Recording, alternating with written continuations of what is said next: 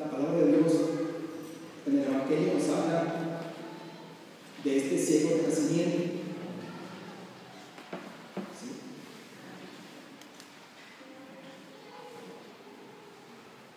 Aquí la, la curación de Jesús es directa. Ciertamente utiliza una liturgia hermosamente pobre. La saliva, la tierra, los dedos, la caricia de los ojos. Llama la atención, entre otras cosas, como los materiales que a veces creemos que menos sirven, como el oro, el Señor le da otra categoría. ¿Cómo convierte lo aparentemente inservible instrumento de, de salvación? Eso es, eso es algo completamente eh, paradójico, difícil de entender.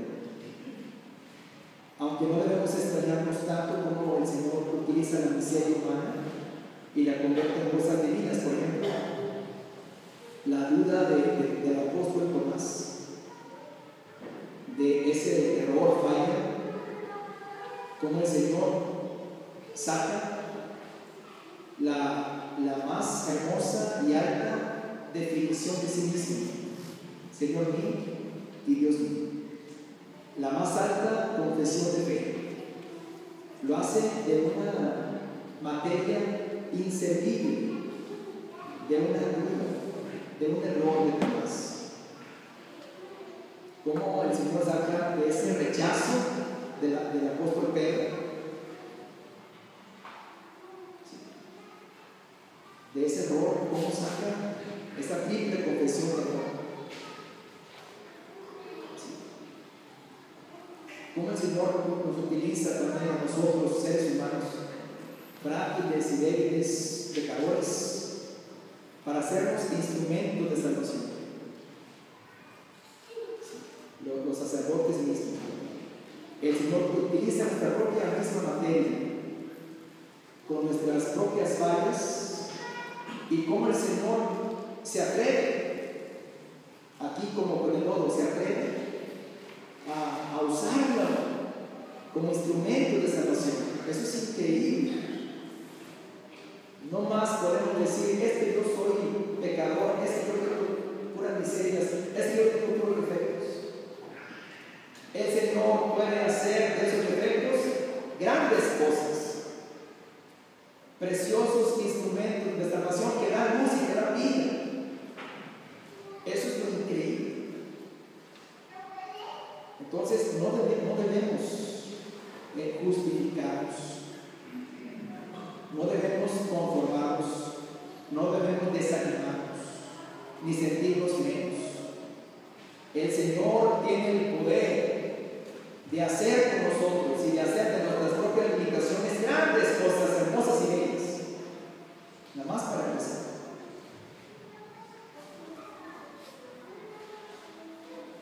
Luego, aquí es directo, lo toca y ve. En otros pasajes recordamos cómo Jesús toca a otro ciego y le dice, ¿qué ves? Y contesta, veo personas como árboles que caminan. Y al darse cuenta Jesús que su vista es incompleta, ¿qué hace? Lo vuelve a tocar. ¿Qué ves ahora? Veo personas, veo hijos de Dios. Este, esta idea hace referencia a otro texto cuando, cuando Jesús dice, quien mire con malos ojos a una mujer es un adúltero. ¿Sí?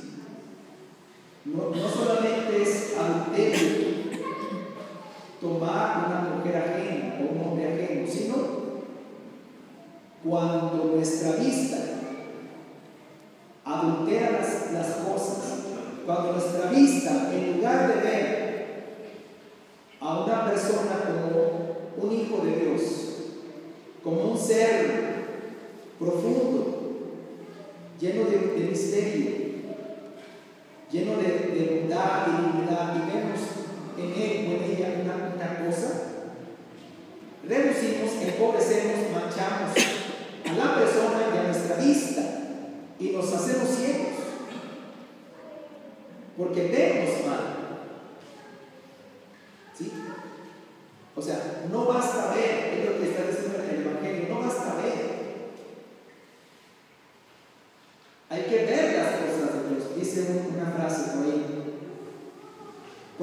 empieza el amanecer? Cuando en el horizonte veo un color naranjita y rosa empieza a amanecer, dice uno, dice otro. Cuando empiezo a ver la primera rayita del sol, dice otro. Dice, no es así.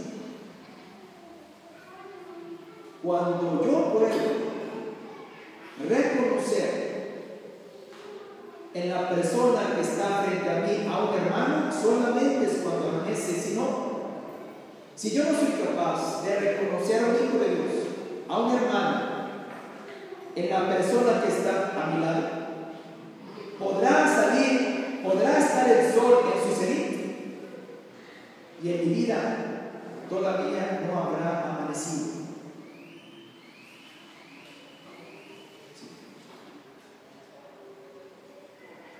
La vista que el Señor nos, nos da a nosotros lo dice al final. Tienen pecado porque dicen que y no, y no están bien. ¿Por qué? Porque la vista de la que habla Jesús es la vista de la fe, la vista de los hijos de Dios, la vista de Dios.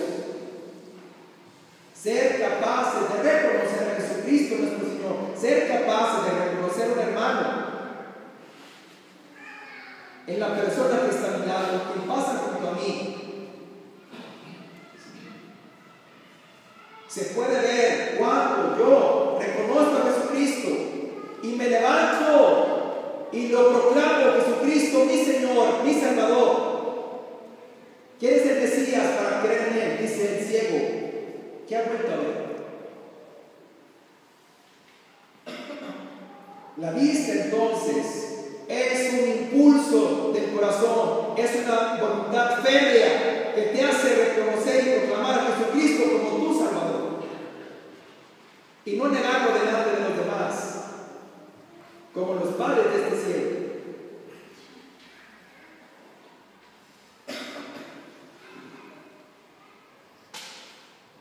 Dicen los apóstoles cuando le dice Jesucristo, cuando les explica a Jesucristo lo del adulterio, una, una vista adulterada, dice, ¿y quién podrá salvarse? ¿Y quién podrá hacerlo? si nuestros ojos están anclados a la tierra y no al cielo? ¿Cómo quieres que tenga ojos de cielo? Si mis sentidos, si la tierra me reclama, me jala, me ata, ¿cómo quieres que pueda tener ojos de cielo? Y Jesús contesta, no, no son tus fuerzas las que te van a hacer mirar como Dios, no son tus capacidades, yo sé que están rebasadas. Solo quien confía en el Señor, solo quien pide la gracia a Dios, lo puede alcanzar. Es cierto, necesitamos solamente mirar con de fe. Y nuestra fuerza, fuerzas no nos alcanza. Por eso tenemos que rogar al Señor, Señor, ayúdame Dame esa fuerza, dame esa fe, dame esa gracia que necesito para mirar como tú.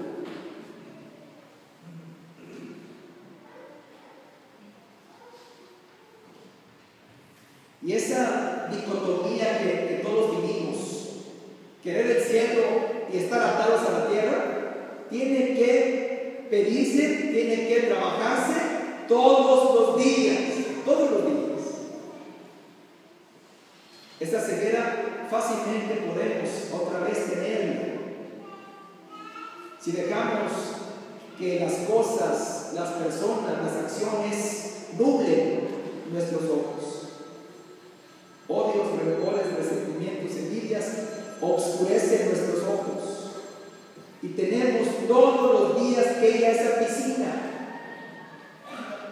El enviado, esa piscina de Dios, del enviado la Eucaristía, la oración, la gracia y volver a bañarnos los ojos para ver con los ojos de la fe. Esa es la condición cristiana. No dice el Señor que sea fácil. Por supuesto que no es fácil, pero esa es la condición de un ser cristiano pleno, feliz, lleno en su corazón.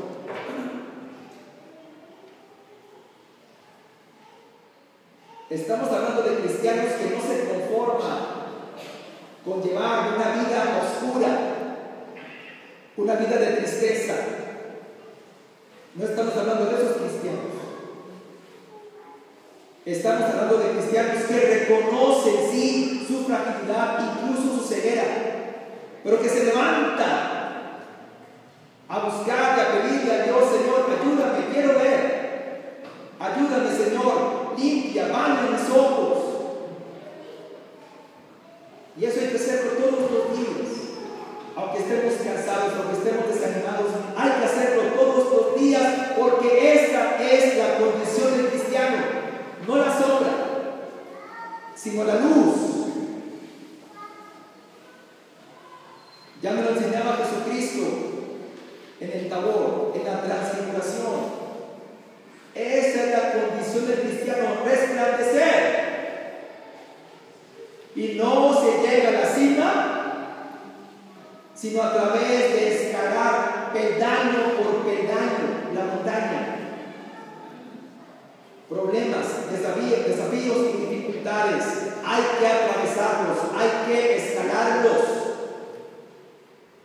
para alcanzar esa luz, para alcanzar esa visión completa.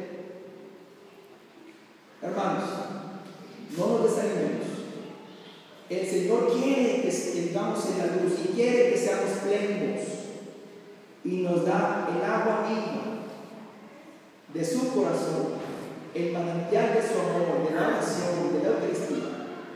No dudemos y no tardemos en acudir alimentarnos y a bañarnos en el agua de vida de Jesús para vivir en la plenitud que el Señor quiere que tengamos para gloria de Dios y servicio de nuestros hermanos. Que así sea.